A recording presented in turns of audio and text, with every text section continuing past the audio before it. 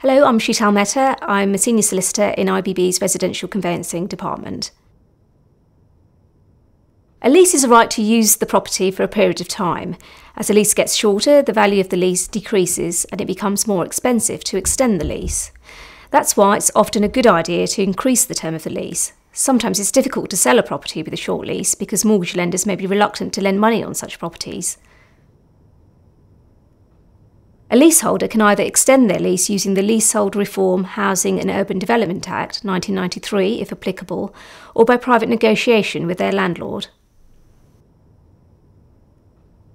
When a lease drops below 80 years, the premium to extend the lease increases because marriage value becomes payable. Marriage value is the increase in the value of the flat arising from the grant of the new lease.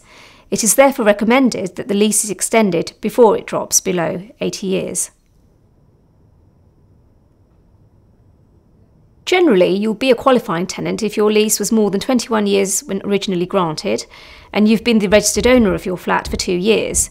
You should note, however, that if your freeholder is the Crown, National Trust, or part of a building within a cathedral precinct, your flat might be excluded from the right to extend your lease, but specialist advice should be taken.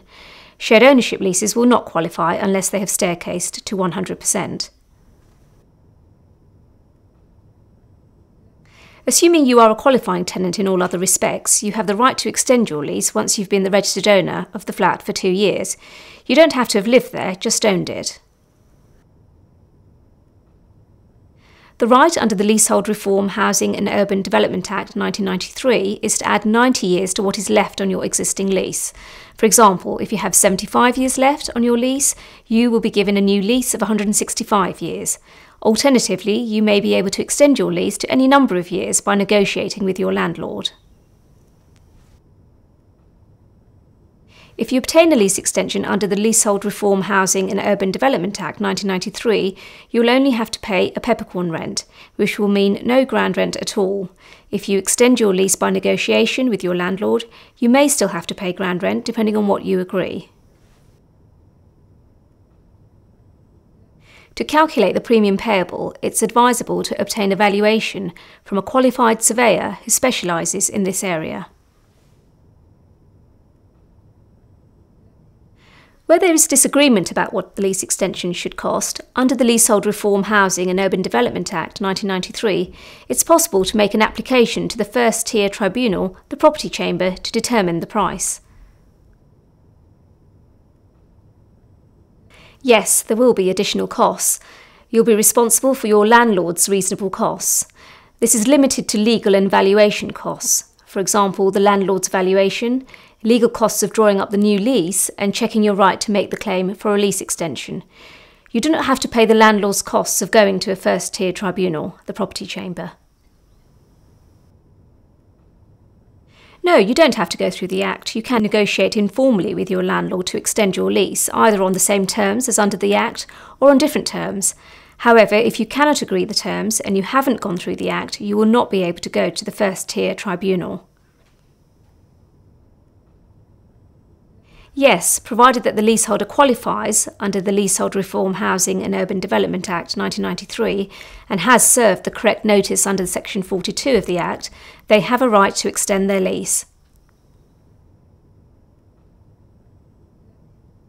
To determine the premium, it's advisable to obtain a valuation from a qualified surveyor who specialises in this area. The leaseholder is required under the Leasehold Reform Housing and Urban Development Act 1993 to pay your reasonable valuation and legal costs. It is advisable to have a solicitor check the validity of the leaseholder's Section 42 application notice, to serve a counter notice within specified time limits, draft the new lease, and liaise with the leaseholder's solicitor. The leaseholder will be responsible for some of your legal costs. If the leaseholder thinks your costs are unreasonable, they can apply to the first tier tribunal, the property chamber, for determination. The terms of the new lease will generally be the same, except for the length and the ground rent.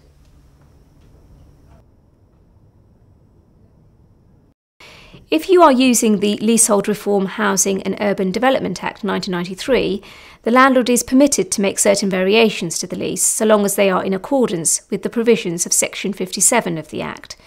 If you are extending a lease by private negotiation, there are no rules because you're acting outside of the provisions of the Act. You can try to negotiate with the landlord if they insist on varying the lease. You can either accept their offer or proceed using the Act if applicable. If the landlord is missing and you qualify under the Leasehold Reform Housing and Urban Development Act 1993, you can apply to the County Court for an order to dispense with the service of the initial notice. This will mean that your lease can be extended by the court. However, you will be required to demonstrate that you have made all reasonable attempts to locate the landlord. In some cases, an inquiry agent may be useful to carry out a search and to produce a report which can be used as evidence that the landlord is indeed missing. It's wise to seek advice from a solicitor both on investigating the landlord's absence and the application to the county court. You can contact the land registry to find out who the registered freeholder is and, if necessary, obtain a copy of the freehold title register.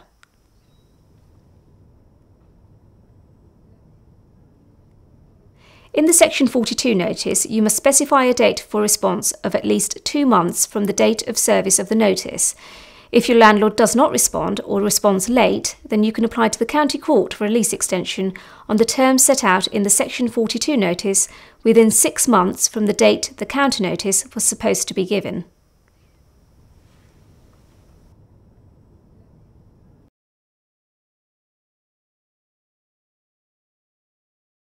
If a new lease has not been entered into within two months of the agreement or first tier tribunal's determination, either party can make an application to the county court for an order to deal with the conclusion of the lease extension. This application must be made within two months of the initial two month period expiring. If you'd like to learn more about lease extensions, please contact me, Shital Mehta, or one of my colleagues in the residential conveyancing team at IBB Solicitors.